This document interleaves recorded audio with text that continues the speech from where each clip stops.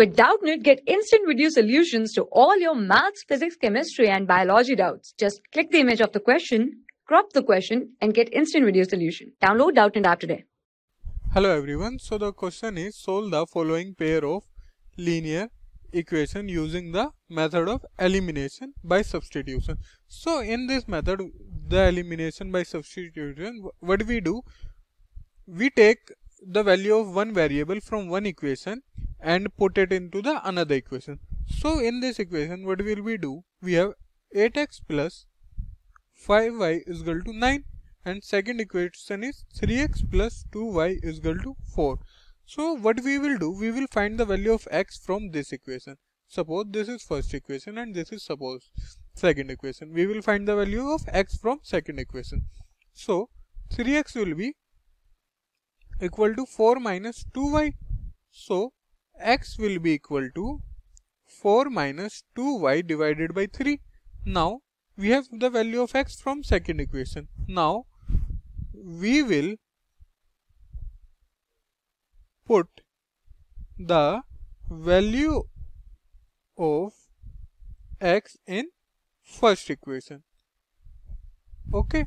Now if I put the value of x in first equation, I will get 8 into 4 minus 2y divided by 3 plus 5y is equal to 9. Now from here I can easily find the value of y because there is only one variable in this equation. So let's solve this.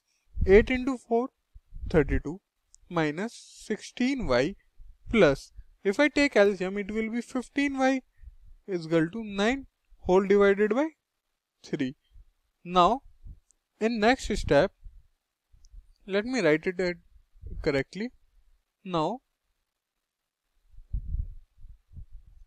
it divided by 3 now in next step 3 will go here. So 32 minus 16y plus 15y it will be minus y is equal to 9 into 3 is 27 so minus y will be equal to 27 minus 32 so from here we are getting minus y is equal to minus 5 that is y is equal to 5. So we have one value of y. Now we can easily find the value of x by putting the value of y. So if I put the value of y in this x is equal to x is equal to 4 minus 2y divided by 3. Value of y is 5. So x is equal to 4 minus 2 into 5 divided by 3.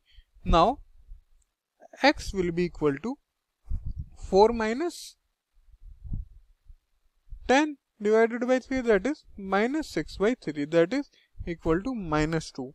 So from here we are getting x is equal to minus 2.